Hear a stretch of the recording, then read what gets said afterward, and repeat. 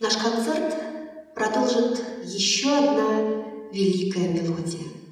Композитор Качини «Аве Мария».